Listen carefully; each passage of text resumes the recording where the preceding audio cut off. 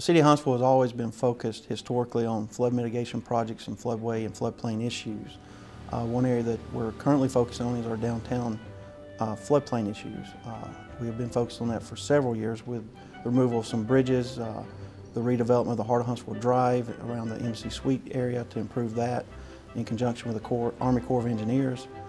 Uh, we will continue that project uh, this summer with the uh, removal and replacement and uh, new construction of the Clinton Avenue bridges and, and followed that with the Holmes Avenue Bridge replacement uh, system.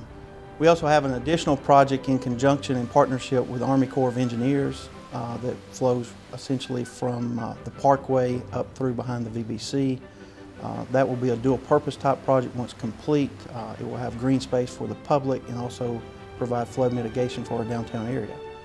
Uh, followed by that would be our Dallas Bypass project in conjunction with our FEMA grant money to, to solidify that.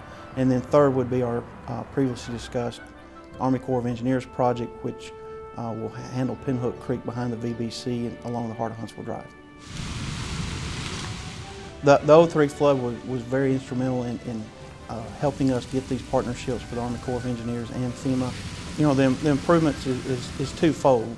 Uh, we get to take care of uh, flood mitigation and be able to handle the flood events like we had in 03 with, with the completion of these projects, but make these projects dual purpose so that we can provide more greenways downtown in these widened channels and, and just more green open space for our citizens and provide for the revitalization and redevelopment efforts that's going on with our downtown infrastructure.